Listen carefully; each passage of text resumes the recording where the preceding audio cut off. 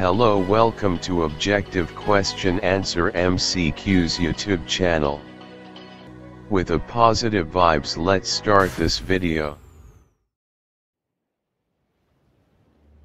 Question number 1. A marble tile would feel cold as compared to a wooden tile on a winter morning, because the marble tile Option A is a better conductor of heat than the wooden tile. Option B is polished while wooden tile is not polished. Option C reflects more heat than wooden tile. Option D is a poor conductor of heat than the wooden tile. The right answer is option A.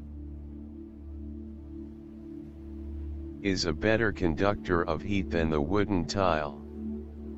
Marble tile being a good conductor of heat absorbs more heat from the foot as compared to wooden tile and hence makes feel colder than a wooden tile. Question number 2. A beggar wrapped himself with a few layers of newspaper on a cold winter night. This helped him to keep himself warm because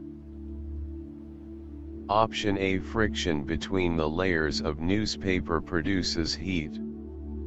Option B Air trapped between the layers of newspaper is a bad conductor of heat. Option C Newspaper is a conductor of heat. Option D Newspaper is at a higher temperature than the temperature of the surrounding. The right answer is option B. Air trapped between the layers of newspaper is a bad conductor of heat. The newspaper contains air trapped in between its layers. The trapped air being a poor conductor of heat prevents the flow of heat from beggar's body to the surroundings thereby keeping the beggar warm. Question number 3. Paheli and Boojho measured their body temperature. Paheli found hers to be 98.6 degree F and Boojho recorded 37 degrees Celsius.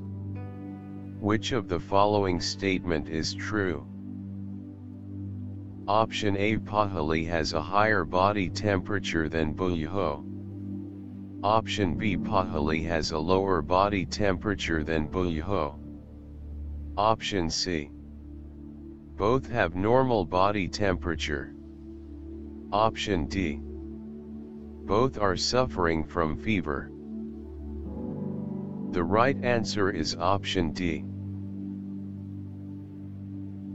Both have normal body temperature. Both of them have normal body temperature, that is, 37 degrees Celsius which is equivalent to 98.6 degree Fahrenheit. The conversion formula is T degree Fahrenheit equals to T degree Celsius into 1.8 plus 32. Question number 4. Boojho has three thermometers as shown in figure 4.1. He wants to measure the temperature of his body and that of boiling water. Which thermometer should he choose? Option A Thermometer 1, or 3 for measuring body temperature and 2 for measuring the temperature of boiling water. Option B Thermometer 1, for measuring temperature of both. Option C Thermometer 2, for measuring temperature of both. Option D Thermometer 3, for measuring temperature of both. The right answer is option A. Thermometer 1, or 3 for measuring body temperature and 2 for measuring the temperature of boiling water. Thermometer 1 is a clinical thermometer and 3 is a digital thermometer and both are used for measuring body temperature whereas 2, One is laboratory thermometer used for measuring the temperature of boiling water. Question number 5. Four arrangements to measure temperature of ice in beaker with laboratory thermometer are shown in figure 4.2, A, B, C and D. Which one of them shows the correct arrangement for accurate measurement of temperature? Option A, Option B, Option C, Option D. The right answer is Option A. While measuring the temperature using laboratory thermometer following steps should be kept in mind. It should be kept vertical. It should be dipped such that the bulb should be entirely surrounded by the substance of which the temperature is to be measured. The bulb of the thermometer should not touch the surface of the container. Figure A has followed all of these steps and hence shows the correct arrangement. Question number 6. A to D shows a student reading a doctor's thermometer. Which of the figure indicates the correct method of reading temperature? Option A. Option B.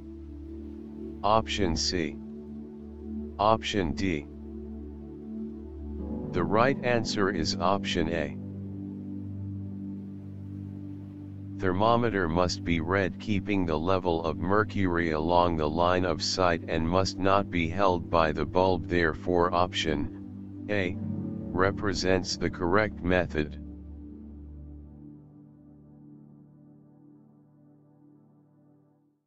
Thank you so much for watching our videos. Please subscribe to our YouTube channel Objective Question Answer MCQs. And always remember, never stops learning, because life never stops teaching.